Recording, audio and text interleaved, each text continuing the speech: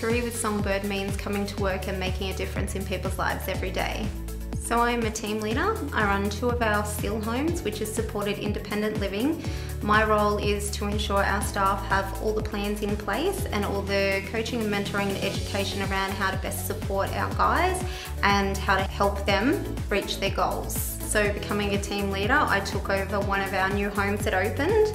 One of my participants were very dependent on staff, not very independent as far as housework, doing her washing, um, even of a day she would just want to sleep and very hesitant to hop up. And within six months she is now attending to her own washing. She is helping hang it out on the line. She mops the bathrooms after her morning showers. She cooks dinner most nights with assistance from staff.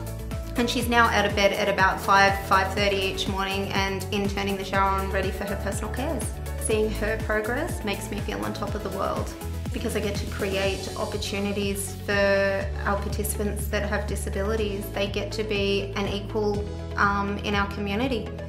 They get to meet goals that they never thought they'd be able to meet, even if it's as little as being able to go to the local shops and do their groceries with minimal assistance from staff.